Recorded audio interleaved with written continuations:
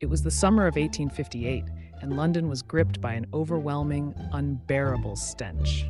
The Thames had transformed into a river of filth, filled with raw sewage, industrial waste, and dead animals. The heat wave of that year only exacerbated the situation, causing the river's contents to ferment and release a noxious odor that permeated the city. This event came to be known as the Great Stink. Parliament, unable to function due to the smell, finally took action.